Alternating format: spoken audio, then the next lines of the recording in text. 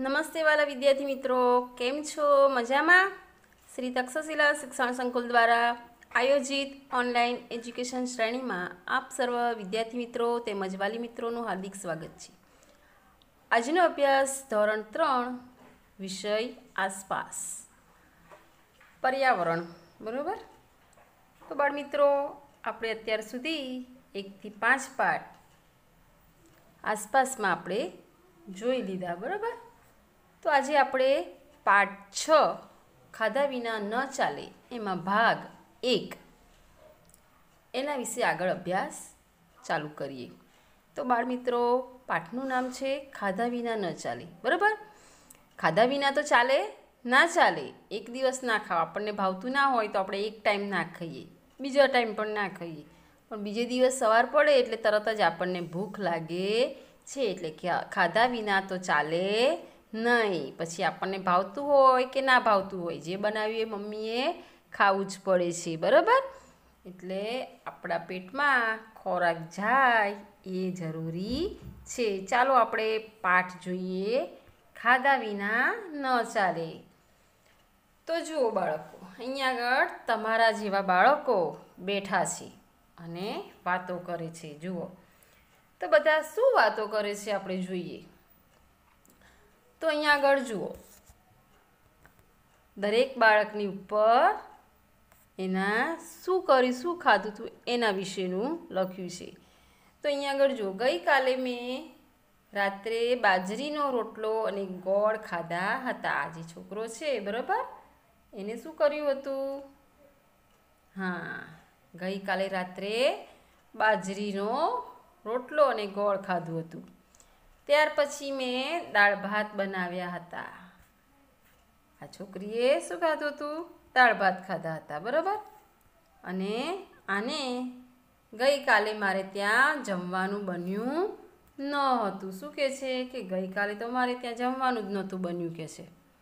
તો એને શું કર્યું હશે? ખાધું હશે કે નહીં ખાધું હોય? કોઈ કારણ હશે એટલે જમ્યું નહીં હોય, બરાબર? પછી છે આ એક સરદારજી. શીખ લોકો ગુરુદ્વારામાં જાય ને, તો એને શું કર્યું તું જુઓ. હું મારા દાદી સાથે લંગર માટે ગુરુદ્વારામાં ગયો હતો. અમે રોટલી અને દાળ જમ્યા હતા. બાળમિત્રો, લંગર એટલે આપણે મંદિરોમાં, ગુરુદ્વારામાં જમણવાર હતો. એટલે કે આપણે મંદિરમાં જે ભગવાનનો પ્રસાદ હોય જમણવારમાં, એ રીતના ત્યાં લંગર કહેવાય. કે ત્યાં આગળ બધાય ભક્તો જે આવતા હોય, એ લોકોને પ્રસાદીમાં જમવાનું આપે, જમવામાં શું હોય? રોટલી અને દાળ હોય. એ દાળ એ લોકોની અલગ હોય. આપણે જે દાળ ભાતની હોય, એવી દાળ ના હોય. મિક્સ જાડી દાળ હોય થોડી. એટલે એને લંગર કહેવામાં આવે. બરાબર? મંદિરમાં એટલે કે ગુરુદ્વારામાં જમ્યા હતા એ લંગર કહેવાય. તો એને લંગરમાં જમવા ગયા હતા. ત્યાં એમને દાળ અને રોટલી ખાધા હતા. ત્યાર પછી નીચે જુઓ, આ છોકરીએ શું કીધું? માએ ખીર અને પૂરી બનાવી હતી જે મને જરાય પસંદ નથી. આથી મેં પુડલા ખાધા. ત્યાર પછી આ બાજુ બેઠી છે એ છોકરીએ શું કર્યું હતું મારી માતાએ ઈડલી રાંધી હતી. મેં ખૂબ જ ખાધી અને ખૂબ જ સ્વાદિષ્ટ હોય છે. બરાબર, એને ઈડલી ખાધી હતી. તો અલગ અલગ બાળકોએ અલગ અલગ ભોજન લીધું હતું. હવે જે નીચે બેઠી હતી એક બીજો એક છોકરો બેઠો છે. તેને શું ખાધું? મારી માતા જ્યાં કામ કરે છે, ત્યાંથી અમારા માટે દાબેલી લાવી હતી અને એની અમને ખૂબ જ મજા માણી કે છે. એની મમ્મી જ્યાં કામ કરે છે, ત્યાંથી એમને દાબેલી લાવીને ખાધી હતી. બરાબર? હવે આ બધા બાળકોએ શું ખાધું હતું ને કોણે નહોતું ખાધું, કોણે ક્યાંથી ખાધું હતું એ બધી બાબતોની ચર્ચા કરી. તો બાળમિત્રો, યાદ કરો અને લખો. બરાબર? આ થાળીમાં લખવાનું છે. તમે લોકોએ શું ખાધું હતું? ગઈકાલે રાત્રે. બરાબર? તમે જે કાલે ખાધું હોય કે ભાઈ અમે કાલે ઢોંસા ખાધા હતા, તો તમારે આમાં ઢોસા લખવાનું. મોઢામાં પાણી આવે છે. હા, બરાબર? સારું સારું ખાધું હોય તો મોઢામાં પાણી આવે. પછી ખીચડી શાક ખાધા હોય તો ખીચડી શાક લખવાનું, બરાબર? દાળ ભાત ખાધા હોય, ખીચડી કઢી કાઢવું હોય, ભાખરી ખાધી હોય, તો ભાખરી લખવાનું, શાક લખવાનું, જે ખાધું હોય, એ તમારી થાળીમાં લખવાનું છે. ચાલો, એના પછી આપણે નીચે જુઓ. થોડાક પ્રશ્નો આપેલા છે, એની ચર્ચા આપણે કરીશું. બરાબર? તો અહીંયા આગળ જુઓ પ્રશ્નો. તમને કેવી રીતે ખબર પડે કે ભૂખ લાગી છે? બરાબર? આપણને ખબર પડે, અંદર બેલ વાગે છે પેટમાં કે ભૂખ લાગી, ચાલો સમય થઈ ગયો છે. હા, અવાજ તો આવે પેટમાં. બરાબર? આપણને ખબર પડી જાય કે હા, ભૂખ લાગી છે. નાના બાળકો બોલતા ના આવડતું હોય તો પણ એ લોકોને ખબર પડી જાય અને એની માતાને પણ ખબર પડી જાય કે હા, એને ભૂખ લાગી હશે. કારણ કે સમય થઈ ગયો છે. એક કલાક, બે કલાક થાય એટલે આપણા શરીરને ખાવાનું જોઈએ. બરાબર? આપણું પેટ ખાવાનું માંગે છે. તો આપણા પેટમાં પણ ભૂખ લાગે એવો અવાજ એવું થાય છે, આપણને અનુભવ થાય છે. બરાબર? શું તમારે ઘરે જમવાનું બન્યું ન હોય તેવું થયું છે? હા, ક્યારેક એવું બને છે કે આપણા ઘરે જમવાનું ન બન્યું હોય. ક્યાંક જમવા જવાનું હોય, મમ્મી બીમાર પડી હોય, મમ્મી બહારગામ ગઈ હોય, અથવા તો કોઈ એવા કારણો હોય કે જે ખૂબ જ ગરીબ હોય એની પાસે પૈસા ના હોય, જમવાનું, બનાવવાનું, ખોરાક લાવવાનો. બરાબર? તો એવું પણ બને કે એમની પાસે પૈસા ના હોય, કોઈ કારણસર, તો એમને ઘેર જમવાનું ના બન્યું હોય.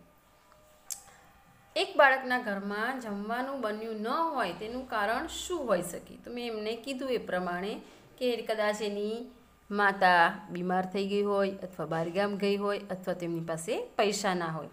પણ મિત્રો, આપણે આ પ્રશ્નોના જવાબ હું આગળના પેજમાં તમને લખીને એના જવાબ આપેલા છે. એ તમારે તમારી આસપાસની નોટબુકમાં નવા પેજ ઉપર પાઠ છ એ રીતના હેડિંગ મારી નીચે પ્રશ્નોના ઉત્તર આપો. એ રીતના તમારે જવાબ નોટબુકમાં લખવાના છે. આમાંથી અમુક પ્રશ્ન પરીક્ષામાં પૂછાઈ શકે છે. એટલે આ તમને હું અત્યારે સમજાવું છું અને પાછળ એ પેજના જવાબ સાથે મેં સમજૂતી મૂકી છે. તમારે એ નોટમાં લખી દેવાની છે. બરાબર? શું બધા બાળકોએ ગઈકાલે એક સરખો ખોરાક ખાધો હશે? ના, બધા બાળકોને ઘેર એક સરખું ના બન્યું હોય. ઘણા બાળકોને ઘેર રોટલી શાક, પણ શાક પણ અલગ હોઈ શકે છે, બરાબર? ભાખરી શાક હોય, ખીચડી શાક હોય, ખીચડી કઢી હોય, દાળ ઢોકળી હોય, એમ અલગ અલગ ખોરાક બન્યો હોય છે. તો એના પછી છે, હવે તમે જે નામ પ્લેટમાં લખ્યા હતા, એ બધા કાળા પાટિયા ઉપર લખો. તમે જે નામ પ્લેટમાં લખ્યા હતા કે શું શું તમે ખાધું? એ તમારે કાળા પાટિયા ઉપર લખવાનું છે. અત્યારે કાળું પાટિયું તમારી પાસે નથી, એટલે તમારે તમારી નોટબુકમાં આનો જવાબ લખી દેવાનો છે કે ભાઈ તમે શું ખાધું હતું. બરાબર? ત્યાર પછી જુઓ, જ્યારે તમે ખૂબ જ ભૂખ્યા હો અને ખાવા માટે કંઈ જ ન હોય, તો તમે શું કરો? બહુ જ ભૂખ લાગી છે, ખાવા માટે કશું ના હોય, તો શું કરો? મમ્મી, જલ્દી કંઈક ખાવાનું આપી દે, જે બનાવ્યું હોય તે આપી દે, નહીં તો પછી કંઈક નવું મને બનાવી આપ. રોટલી પડી હોય, મમરા પડ્યા હોય કે ગમે તે ખાવાનું પડ્યું હોય એ તમે માંગી લો છો.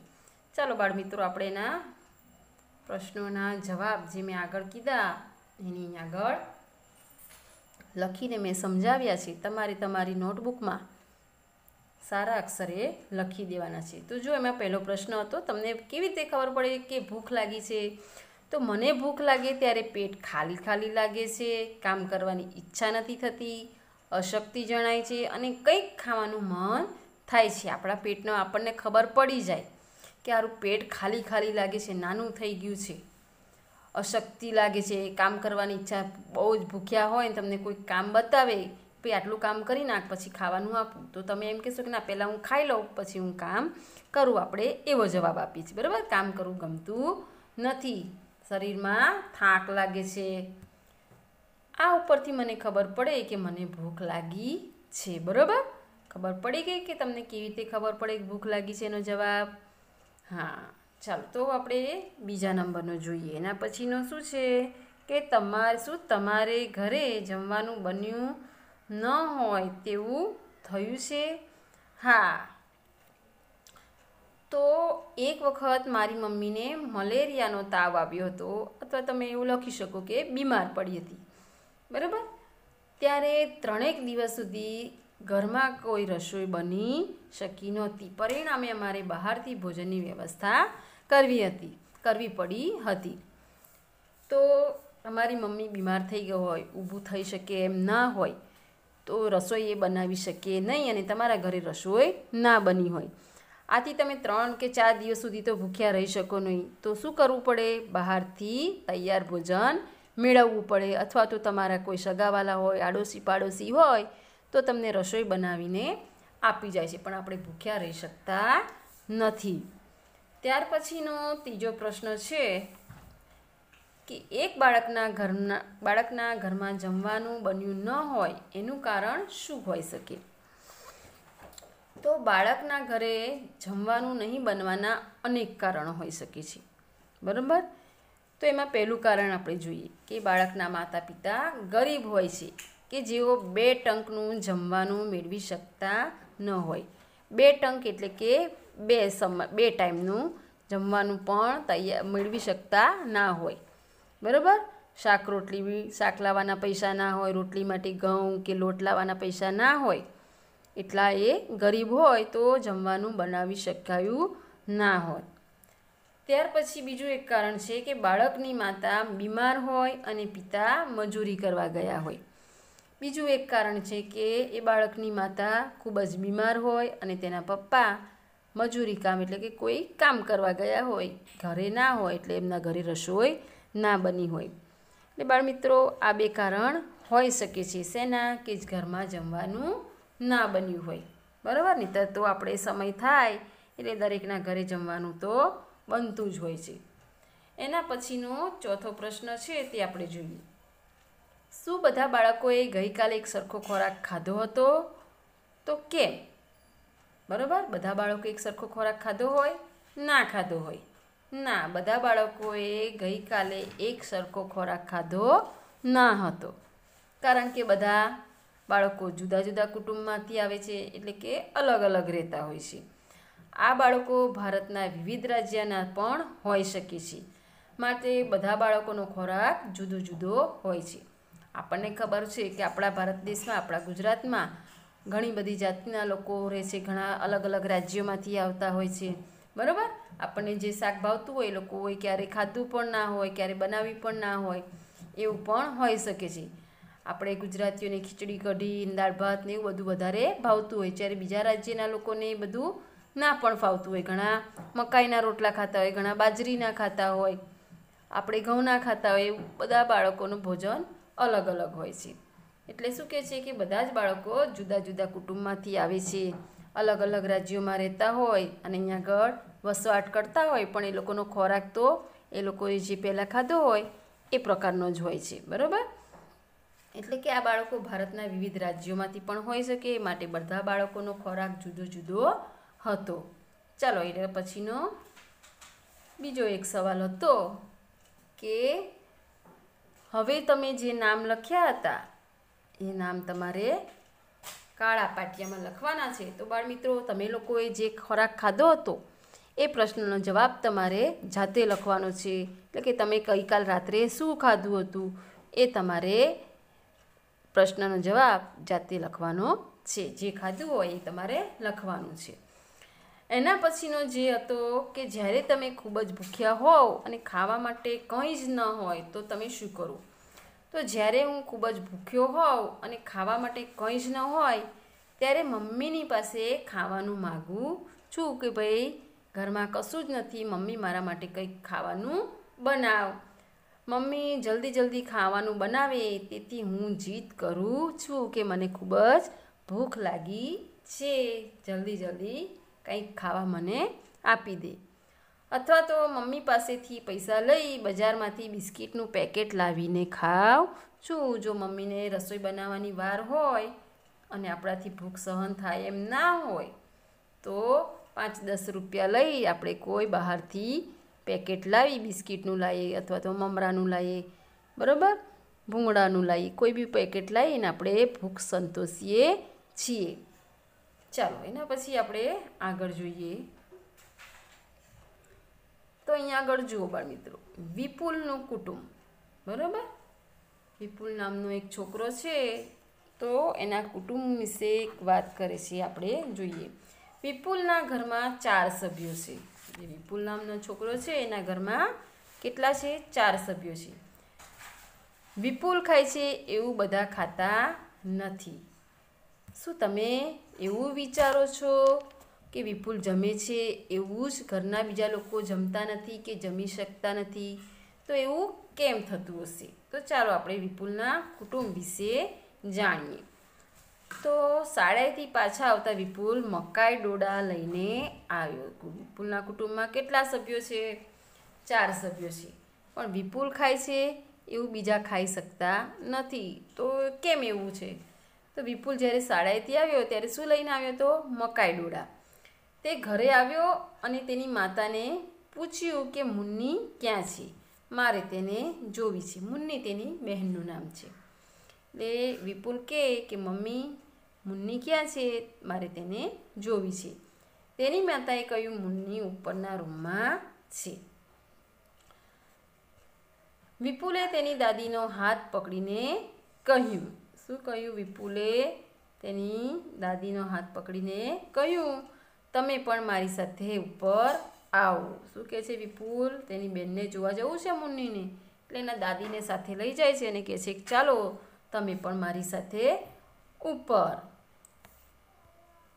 તેની માતાએ વિપુલને રોક્યો. શું કહે છે? તેની માતાએ વિપુલને રોક્યો. બાને ભોજન કરી લેવા દે. મેં એમના માટે દાળમાં રોટલી પલાળી છે. કેમ વિપુલની મમ્મી એવું કર્યું છે એની દાદી માટે? કે વિપુલ એને દાળમાં રોટલી પલાળીને રાખી છે એમને અત્યારે ઉપર ના લઈ જઈશ એને ભોજન કરી લેવા દે. તો દાદીમાં ખૂબ જ ગરડા હતા અને તેમના દાંત પણ ન હતા, તે રોટલી ચાવી શકે તેમ ન હતા. એટલા માટે દાળમાં રોટલી પલાળીને દાદીમાને જમવા આપે છે. તો દાદીએ વિપુલની માતાને કહ્યું કે શું તે દાળમાં ખાંડ નાખી છે? જો બાળ મિત્રો અહીંયા આગળ આ તમારે એક યાદ રાખવા જેવો સવાલ છે. વિકલ્પોમાં પણ પૂછી શકે છે અથવા તો ખાલી જગ્યા તરીકે પણ પૂછી શકે છે. કે શું વિપુલના દાદીને ગળપણવાળી દાળ પસંદ છે? તો કે હા, ગળપણ એટલે ખાંડ નાખેલી. બરાબર? તો વિપુલના દાદી મને કેવી દાળ પસંદ છે? ગળપણવાળી અથવા તો ખાંડ નાખેલી. તો દાદીએ શું પૂછ્યું વિપુલની મમ્મીને? કે એમાં ખાંડ નાખેલી છે? કેમ એવું પૂછ્યું? કારણ કે એમને ગળી દાળ ભાવે છે, બરાબર? ખાટી દાળ ભાવતી નથી. તો જુઓ, વિપુલની માતાએ કહ્યું, મેં દાળ ચાખી છે અને તે સારી જ બની છે, ખાટી બની નથી, તે ગળપણવાળી જ છે. વિપુલે તેના દાદીની થાળી લીધી. શું કર્યું છે? વિપુલે તેના દાદીની થાળી લીધી, તે દોડીને ઉપર ગયો. તેણે દાદીને પણ ઉપર આવવા કહ્યું. દાદીએ કહ્યું, હું તારી ઉંમરની હતી, ત્યારે થોડીક વારમાં જ પર્વત પણ ચડી જતી હતી. હવે વિપુલ કહે છે કે, દાદીમાં તમે ઉપર જ આવો, ચાલો હું તમારી જમવાની થાળી ઉપર લઈ લઉં. પણ દાદીમાં શું કહે છે કે, હું તમારી ઉંમરની હતી, ત્યારે થોડીક જ વારમાં પર્વત પણ ચડી શકતી હતી. અત્યારે મારાથી દાદર ચડી શકાતા નથી, કારણ કે દાદીમાં ખૂબ જ ગરડા થઈ ગયા છે, તેમના ઢીંચણ પણ દુખે છે, એટલે તે ઉપર ચડી શકતા નથી. વિપુલ મકાઈ ડોળો ખાતો હતો. તેણે તેના મમ્મીને મકાઈ આપી. શું મકાઈ ડોળો એ શાળાએથી લાવ્યો હતો? એણે મકાઈ તેના મમ્મીને આપી. વિપુલે હાથ ધોઈ લીધા, પછી નાની મુન્નીને ઉચકી. મુન્ની એટલે એની બેન એ કેવી હતી? નાની હતી. આપણે આગળ એનો કેટલી ઉંમરની છે તે પણ આવશે એ જોઈશું પાઠ ચાલે અચાનક મુન્ની રડવા લાગી. અહીંયા આગળ જુઓ. વિપુલે તેડી હતી મુન્નીને. એ એકદમ રડવા લાગી. તો મમ્મીએ કહ્યું, તે ભૂખી થઈ છે. મા મુન્નીને ખવડાવ. શું કીધું? મામીએ કહ્યું કે તે ભૂખી થઈ છે. મા મુન્નીને ખવડાવવા નીચે બેઠી. અહીંયા આગળ મામી છે એને બદલે શું કરવાનું તમારે? મમ્મી. મમ્મીએ કહ્યું કે તે ભૂખી થઈ છે અને એની મમ્મી, માએ તેની મમ્મી, વિપુલની મમ્મી ખવડાવવા માટે નીચે બેઠી. તો જુઓ, અહીંયા આગળ આપણે એટલો ફકરો જોયો, એના પ્રશ્નોના જવાબ આપેલા છે, બરાબર? કે દાદી કેમ જલ્દી દાદર ચડી શકતી, શકતા નથી? તો આપણે એનો જવાબ જોઈશું.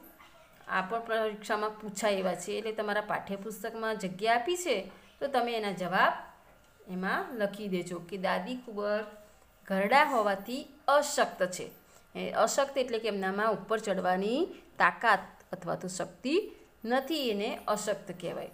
તેથી જલ્દી દાદર ચડી શકતા નથી. શું લખવાનો જવાબ બાળ મિત્રો?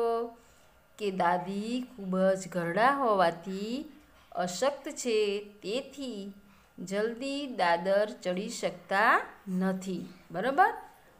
આ પ્રશ્નનો જવાબ મોટે ભાગે પરીક્ષામાં પૂછાય છે.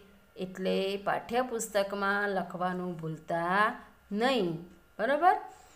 દાદીને કેવી દાળ પસંદ છે? આ પણ પરીક્ષામાં પૂછાય તેવો સવાલ છે. દાદીને ગળપણવાળી દાળ પસંદ છે અથવા તો દાદીને ખાંડ નાખેલી દાળ પસંદ છે.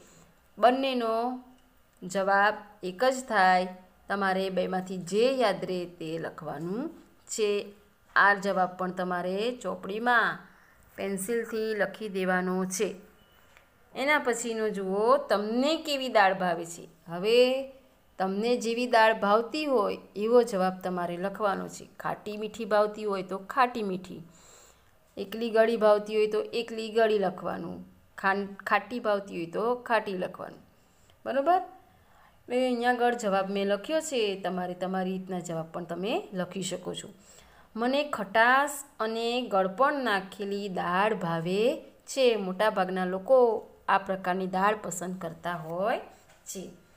તો આ પ્રશ્નોના જવાબ તમારે ચોપડીમાં લખવાના છે. બરાબર? એટલે જ્યારે પરીક્ષા આવે ત્યારે વાંચન કરતા ફાવી. ચાલો એના પછીના આગળના પ્રશ્ન છે કે વાર્તામાંના કેટલા સભ્યો મકાઈ ડોળા ખાઈ શકે છે? કેમ? તો વાર્તામાંના ત્રણ સભ્યો. વિપુલ તેની મમ્મી અને તેના મામી મકાઈ ડોડો ખાઈ શકે છે. આમાં વિપુલના મામી પણ છે. વાર્તામાંના ત્રણ સભ્યો એટલે કે વિપુલ, તેની મમ્મી અને તેના મામી મકાઈ ડોડો ખાઈ શકે છે. તે ત્રણેય યુવાન છે, તેથી દાંત સારા છે. જ્યારે દાદીના દાંત પડી ગયા હતા, એટલે તે મકાઈ ડોડો ખાઈ શકતા નથી. એટલે યાદ રહ્યું બાળ મિત્રો કે વાર્તામાંના ત્રણ સભ્યો કોણ? વિપુલ, તેની મમ્મી અને તેના મામી. મકાઈ ડોળો ખાઈ શકે છે. તે ત્રણેય યુવાન છે અને તેમના દાંત સારા છે. કેમ લખ્યું છે આપણને? અહીંયા આગળ કે ભાઈ કેમ નહીં ખાઈ શકે? તો એ કેવા છે? યુવાન છે. અને એના દાદી ઘરડા છે. એટલે એમના દાંત પડી ગયા છે એટલે તે મકાઈ ડોડો ખાઈ શકશે નહીં. શું ઘરડા લોકો મકાઈ ડોડા ખાઈ શકે? કેમ? ના, ઘરડા લોકો મકાઈ ડોડા ખાઈ શકે નહીં. કેમનો જવાબ છે? કારણ કે તેમના મોટાભાગના દાંત પડી ગયા હોય છે અને થોડા દાંત હલતા હોવાથી દુખતા હોય છે. બરાબર? યુવાન હોય, ત્યાં સુધી તેમના દાંત સારા હોય. પછી સાઠ પાસઠ, સિત્તેર વર્ષના થાય એટલે અમુકના દાંત હલવા માંડે, અમુકના પડી જાય, અમુકના સડી ગયા હોય એટલે કઢાવી નાખ્યા હોય. એટલે આ બધા કારણોસર તેઓ મકાઈ ડોડા ખાઈ શકે નહીં. એટલે ઘરડા લોકો મકાઈ ડોડા ખાઈ શકતા નથી. એના પછીનો છે ચાર મહિનાની મુન્ની. જે મુન્ની હતી, એની ઉંમર કેટલી હતી? ચાર મહિનાની હતી. બરાબર? વિપુલની બેન મુન્ની, તેની ઉંમર ચાર મહિનાની હતી. તો કે છે, હું ચાર મહિનાની મુન્ની, તેના માતાના દૂધ પર જ રહે છે. તે એનો એકમાત્ર ખોરાક કેમ હશે? બરાબર? દરેક બાળક મિત્રોને તો ખબર જ હશે કે નાના બાળકો હોય, એમને ફક્ત દૂધ અને પોચું પોચું કે શીરો ખવડાવી શકાય, દાળ, બાફેલી એવો બધો ખોરાક આપી શકાય છે. જેમ જેમ બાળકો મોટા થાય એમને દાંત આવે, પછી એ બીજો ખોરાક લઈ શકે છે. તો આપણે એમાં જવાબ લખીશું કે નાના બાળકોને દાંત હોતા નથી. આથી તેઓ પોતાની માતાનું જ દૂધ લે છે. કારણ કે માતાનું દૂધ કેવું હોય છે? એમના માટે સંપૂર્ણ ખોરાક હોય છે. એમની મમ્મીએ જેટલું બધું ખોરાક ખાધો હોય, એમાં બધા જ વિટામિન્સ, બધા પોષક તત્વો હોય. એટલે એ દૂધ નાના બાળકો માટે સારું કહેવાય, સંપૂર્ણ એટલે પૂરેપૂરો ખોરાક કહેવાય. બરાબર? શરીરને જરૂરી પોષક તત્વો માતાના દૂધમાંથી જ મળી રહે. એ માટે નાના બાળકોને માતાનું દૂધ જ આપવામાં આવે છે. એના પછી છે, પૂછો અને લખો. બરાબર? શું ખાઈ શકે અને શું ના ખાઈ શકે? તો આપણે અહીંયા આગળ જોઈએ. કે બાળકો શું ખાઈ શકે અને શું ના ખાઈ શકે, બરાબર? તો બાળકો દૂધ પી શકે, પાતળી દાળ, ભાત, ખીચડી, શીરો, બરાબર? જે પોચું એટલે કે તરત ચાવવાની જરૂર ના પડે એને ઓગળી જાય, પેટમાં ઉતારી શકે, બરાબર? એ રીતનો ખોરાક બાળકોને આપવામાં આવે છે. તો દૂધ આપવામાં આવે, પાતળી દાળ, બરાબર? એમાં બહુ વઘાર ને એવું નાખેલું હોય તો એવી દાળ એમ લોકો ના પી શકે. પછી ભાત ભાત પણ કેવા થોડાક ઢીલા હોય તેવા. ખીચડી પણ ખાઈ શકે ઢીલી ઢીલી. શીરો આવે, રાબ આવે, બરાબર? એ બધો ખોરાક બાળકો ખાઈ શકે ને આ કેવા બાળકો જેને દાંત ના આવ્યા હોય તેવા. તો એવા બાળકોને દાંત ના હોય એટલે લોકો મકાઈ ના ખાઈ શકે, મગફળી ના ખાઈ શકે, ભાખરી ના ખાઈ શકે, શાક અને ફળ. ફળ બાળકોને ખવડાવવા હોય તો એને શું કરવા? ઝીણા ઝીણા પીસી નાખીને ખવડાવવામાં આવે છે અથવા તો એનું જ્યુસ બનાવીને પણ એ ફળ ખવડાવી શકાય છે. પણ આપણે મોટા જે રીતના ખાઈ શકીએ તેવી રીતના એ લોકો ફળ ખાઈ શકતા નથી. ત્યાર પછી જોઈએ યુવાનો. તો યુવાનો શું ખાય? યુવાનો તો ખાવાની બધી જ વસ્તુઓ ખાઈ શકે છે. કારણ કે એમને સરસ મજબૂત દાંત હોય છે. એટલે બધી જ વસ્તુઓ ખાઈ શકતા હોય એટલે બાજુના બોક્સમાં ડેશ કરવાનું કે શું ના ખાઈ શકે. એમને ભાવતી પસંદગીની બધી જ વસ્તુઓ તેઓ ખાઈ શકે છે. કઠણ, પોચી, બધી જ વસ્તુઓ તેઓ ખાઈ શકે છે જે ભાવતી હોય બધી જ. ત્યાર પછી આવે છે વૃદ્ધ. તો વૃદ્ધ લોકો શું ખાઈ શકે? તો વૃદ્ધ બાળકોના જેવા જ હોય છે. બરાબર?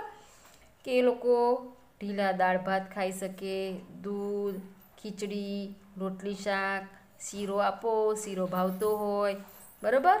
ડાયાબિટીસ ના હોય તો એ લોકો શીરો ખાઈ શકે છે. વૃદ્ધ થાય એટલે બધા રોગ પણ આવે. બાળક હોય તો બાળક તો બધું ગળ્યું બધું ખાઈ શકે છે. પણ જે વૃદ્ધ લોકો હોય, ઘરડા લોકો હોય, જેમ જેમ ઉંમર થાય, એમ તમારા શરીરમાં બધા રોગ પણ થઈ શકે છે. ડાયાબિટીસ હોય, બીપી હોય, એ બધું થઈ શકે એટલે ખાવામાં થોડું ધ્યાન રાખવું પડે. શું ના ખાઈ શકે તો મગફળી, મકાઈ ડોડા, ચણા, રોટલો અને ભાખરી, બરાબર? તો આ બધું તેઓ ના ખાઈ શકે. કોણ? વૃદ્ધ લોકો. મગફળી, સિંગદાણા, ચણા ને બધું એ લોકો ખાઈ શકે નહીં. કારણ કે એમના દાંત નબળા પડી ગયા હોય, ઢીલા હોય અથવા તો પડી ગયા હોય. એટલે આ બધો ખોરાક તેઓ લઈ શકે નહીં. તો ચાલો, હવે એના પછીનું આગળનું જોઈએ. આપણે શું ખાઈ શકીએ છીએ? શું ના ખાઈ શકીએ તેના વિશે જોયું. આપણે બધું જ કાયમ ખાઈ શકતા નથી, બરાબર? દરેક ખોરાક આપણે કાયમ લઈ શકતા નથી. અમુક ઉંમર પછી આપણે ખોરાક ના પણ ખાઈ શકીએ. આપણને જો એ ખોરાક ના થતો હોય તો પણ આપણે એ ના ખાઈ શકીએ.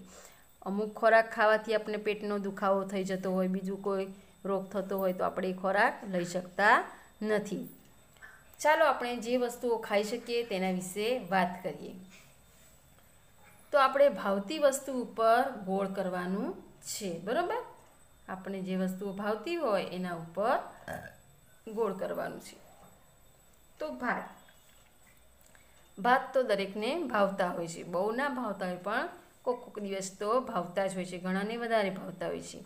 પુલાવ ભાત હોય, સાદો ભાત હોય, બરાબર? બિરયાની હોય, એ બધું ભાવે ને? હા. પછી આવે છે ઘઉં. તો ઘઉં પણ દરેકને ભાવતા જ હોય છે. રોજ બાજરીનો રોટલો ના ભાવે, મકાઈનો ના ભાવે, જુવારનો ના ભાવે પણ ઘઉં તો રોજ ભાવતા હોય છે. એમાંથી બનાવેલી વાનગીઓ પણ ભાવતી હોય છે. પૂરી હોય, રોટલી હોય, ભાખરી હોય, શીરો હોય, લાડવા હોય, લાપસી હોય. તો આ બધું ઘઉંમાંથી બનતું હોય એટલે ઘઉં તો તમારો મુખ્ય આહાર કહેવાય એટલે એ ભાવતો હોય છે. પછી જવ. તો અમુક રાજ્યોમાં જવ. જવ જોયા છે? હા.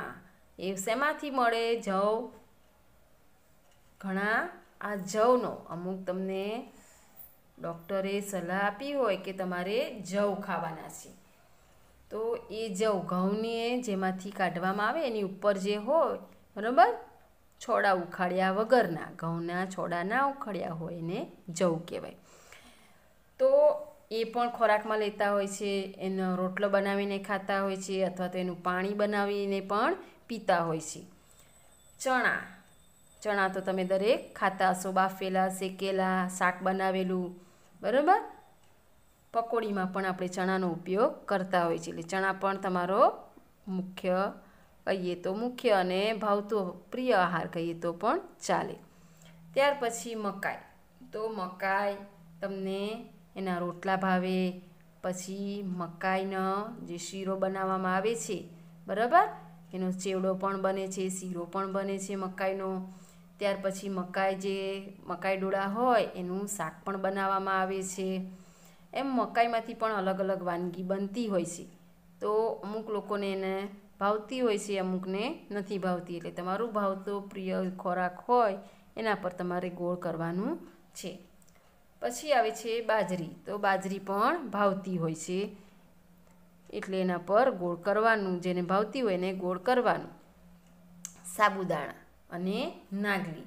આ પણ એક પ્રકારનો અનાજ જ છે, જે મહારાષ્ટ્ર, કર્ણાટક, આસામ અને પશ્ચિમ બંગાળ અને ગુજરાતમાં ખાવામાં આવે છે. અત્યારે આપણે તમે લોકોએ કદાચ જોઈ હશે ત્યારે આ એક પ્રકારનું અનાજ જ છે. બરાબર? ચાલો હવે આપણે આગળ જોઈએ એના વિશેનું. જુઓ બાળ મિત્રો. પેલા બે પ્રશ્નના જવાબ જે પાઠ્યપુસ્તકમાં આપ્યા હતા, કે શું ઘરડા લોકો મકાઈ ડોળા ખાઈ શકે છે, કેમ? તો એ ચોપડીમાં તમને જવાબ લખતામાં, ના ફાવે, ના દેખાતું હોય, તો અહીંયા આગળ મેં અલગથી લખીને મૂકેલા છે. તમારે લખવા માટે ફાવશે, એટલા માટે મેં એમાં અલગ લખેલા છે. તમારે નોટબુકમાં લખવાના છે આ બંને જવાબો. કે ના, ઘરડા લોકો મકાઈ ડોળા ખાઈ શકે નહીં. કારણ કે તેમના મોટાભાગના દાંત પડી ગયા હોય છે અને થોડાક દાંત હલતા હોવાથી દુખતા હોય છે. બરાબર? એટલે આ બે જવાબો મેં ચોપડીમાં સરખું દેખાતું ના હોય એટલા માટે અલગ લખીને મૂક્યા છે. તમારે નોટબુકમાં લખવાના છે. એના પછી છે, ચાર મહિનાની મુન્ની તેના માતાના દૂધ પર જ રહે છે. એ તેનો એકમાત્ર ખોરાક કેમ હશે?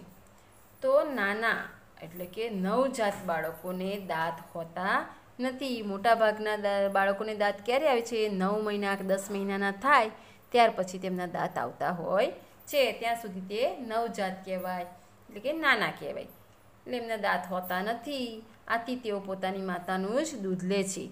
કારણ કે માતાના દૂધ તેમના માટે સંપૂર્ણ ખોરાક છે. આગળ તમને મેં સમજાવી દીધું. પછી અમુક બાળકોને તો છ મહિના સુધી ફક્ત દૂધ જ આપવામાં આવે છે. છ મહિનાના થાય, પછી એમને દાળ ભાત આપે, ખીચડી કઢી આપે, ખીચડી દૂધ આપે, શીરો આપે, રાબ આપે, ફળોનો રસ આપે, બરાબર? તો છ મહિના સુધી તો ફક્ત તેમને દૂધ ઉપર જ રાખતા હોય છે અને તે પણ માતાનું જ દૂધ, કારણ કે તેમના શરીર માટે પૌષ્ટિક ખોરાક છે. ચાલો, એના પછીનું આપણે આગળ જોઈશું.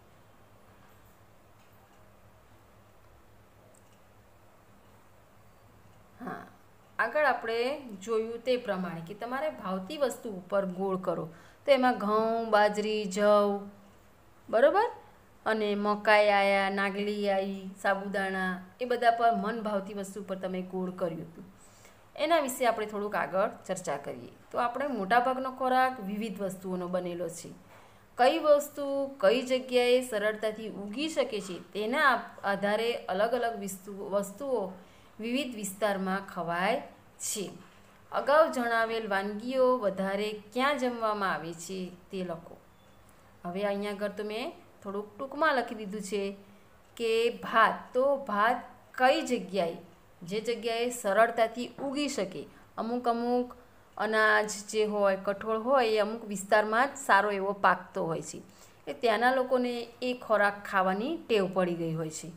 કે ભાઈ અમુક વિસ્તારમાં ઘઉંનો પાક સારો થાય છે. એટલે એ લોકો એમનો મુખ્ય આધાર ખોરાક ઘઉં ઉપર જ રાખે છે. અમુક વિસ્તારમાં બાજરી સારી થતી હોય તો એ લોકો બાજરીનો ખોરાક વધારે લે છે. અમુક મકાઈ, બરાબર?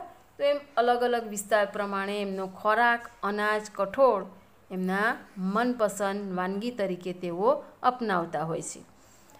તો ભાત ભાત કયા લોકોને સૌથી વધારે પ્રિય છે? તો તમિલનાડુ, આંધ્રપ્રદેશ, કેરળ, બરાબર? ત્યાર પછી ઘઉં. તો ઘઉં ક્યાં વધારે ભાવે છે? હરિયાણા, પંજાબ, મધ્યપ્રદેશ, ગુજરાત. ત્યાર પછી બાજરી. તો બાજરી ગુજરાતમાં, રાજસ્થાનમાં વધારે ખવાય છે.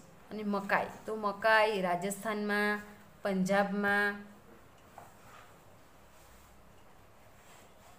ઉત્તર પ્રદેશ, બરાબર? આ બધા રાજ્યોમાં મકાઈનો ખોરાક વધારે લેવાય છે. ત્યાર પછી જવ. તો જવ પંજાબ અને મહારાષ્ટ્રમાં વધારે ખાવામાં આવે છે.